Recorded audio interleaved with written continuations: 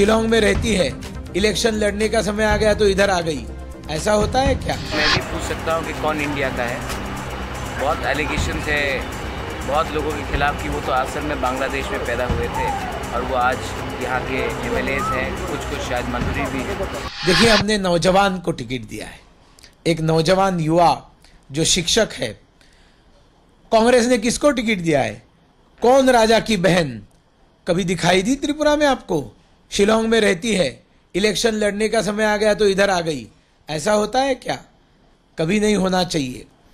जो इस भूमि में रहता है, जो इस भूमि में रहकर कॉकबरोक भाषा बोल सकता है, उनके साथ रहकर आप लोगों के साथ दिन रात रहता है ऐसा रेवती त्रिपुरा एक टीचर है, एक शिक्षक है, एक अच्छा नौजवान युवा है, प्रतिमा भौमिक हमारी महिला है।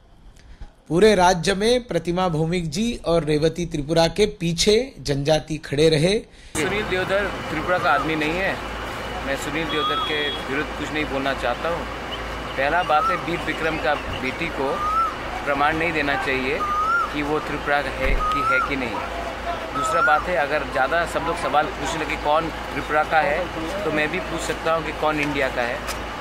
बहुत एलिगेशन है बहुत लोगों के खिलाफ कि वो तो असल में बांग्लादेश में पैदा हुए थे और वो आज यहाँ के एम हैं कुछ कुछ शायद मंत्री भी हैं।